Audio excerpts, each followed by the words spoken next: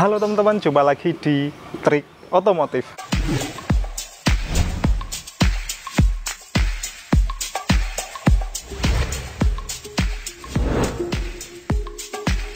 Nah, zaman sekarang itu banyak orang lebih minat ke kendaraan diesel. Mungkin karena bahan bakarnya jadi lebih irit daripada kendaraan bensin. Bisa kita lihat penjualan mobil diesel dari tahun ke tahun semakin meningkat dan juga minat untuk pembelian mobil second juga didominasi oleh e, pembelian mobil diesel. Nah, pada kesempatan kali ini saya akan membahas tentang bahan bakar dari mobil diesel itu sendiri. Sekarang di Indonesia ada tiga bahan bakar yaitu solar. Sekarang sih udah jarang solar, diganti dengan biosolar. Lalu kemudian ada Dixlite dan juga yang terakhir adalah Pertamina Dex. Nah, saya akan bahas satu-satu dulu. Nah, oke, yang pertama adalah biosolar. Biosolar merupakan bahan bakar berbahan dasar dari bahan-bahan nabati, baik itu dari biji matahari atau biji kedelai, biji jarak dan juga minyak sawit. Nah, kalau dulu minyak solar itu berbahan dasar dari fosil, teman-teman.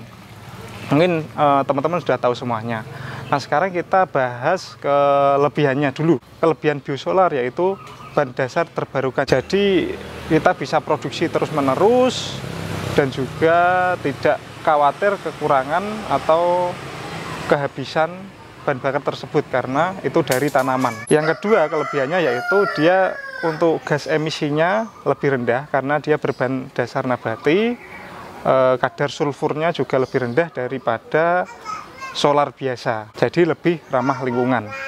Nah, sekarang kekurangannya kalau untuk biosolar ini, uh, dia ibaratnya seperti minyak goreng nabati, yaitu apabila kita biarkan terlalu lama dan juga penutupannya tidak rapat, dia terjadi endapan atau penggumpalan. Nah itu jika disalurkan di saluran BBM bisa menghambat dan juga filternya akan lebih cepat kotor. Biasanya mesinnya agak berbet. Nah, kekurangan yang kedua yaitu dia lebih rentan memproduksi kadar air.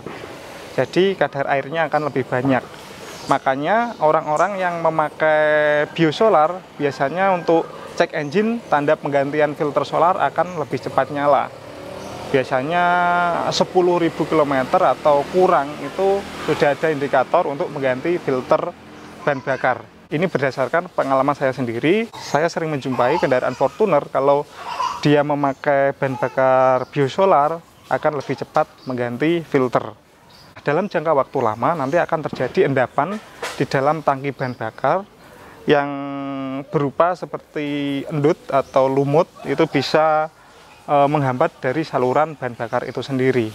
Jadi itu kekurangannya teman-teman kalau menggunakan biosolar.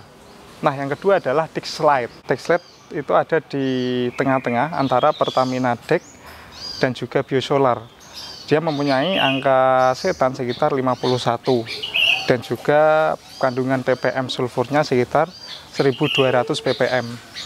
Jadi untuk emisi gas buangnya dia agak lebih rendah daripada solar dan juga tingkat pembakarannya juga lebih tinggi. Jadi dia lebih terbakar sempurna, teman-teman. Biasanya uh, Dexlet ini digunakan untuk kendaraan-kendaraan MPV seperti R3 diesel dan juga Innova diesel itu menggunakan Dexlet. Kalau menggunakan biosolar tetap bisa, tapi juga efeknya filter solar akan cepat ganti dan juga nanti jangka waktu lama harus diturunkan untuk tangkinya yang bertujuan untuk pembersihan saluran bahan bakar dari Eh, lumut-lumut yang berada di tangki tersebut.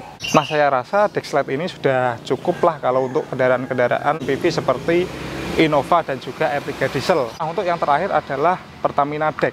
Pertamina Dex ini adalah kelas tertinggi dari bahan bakar mobil diesel, yaitu dengan angka setan 53 dan juga ppm sulfurnya sekitar 300 ppm. Jadi dia lebih eh, cepat terbakar, lebih sempurna pembakarannya dan juga emisi gas buangnya jauh lebih rendah karena dia cuma 300 ppm teman-teman. Nah dengan menggunakan Pertamina Deck ini juga membantu untuk pembersihan ruang bakar itu akan lebih bersih. Kalau untuk mobil bensin itu menggunakan Pertamax kalau untuk diesel ini yaitu produknya menggunakan Pertamina DEK untuk pembersihan dari ruang bakar itu sendiri. Dia juga mencegah terjadinya karat dan mencegah terjadinya kontaminasi air. Beda dengan biosolar yang saya sebutkan tadi teman-teman. Itu yang menginginkan performa yang bagus dan juga keawetan mesin dan keawetan dari part-part mobil itu sendiri gunakanlah e, Pertamina DEK. Nah sekarang pertanyaannya kalau antara bahan-bahan tersebut dicampur gimana? Kalau menurut saya sih nggak perlu. Kalau ingin pembersihan ruang bakar cukup dengan pembelian e, Pertamina Dex, nggak usah dicampur lah.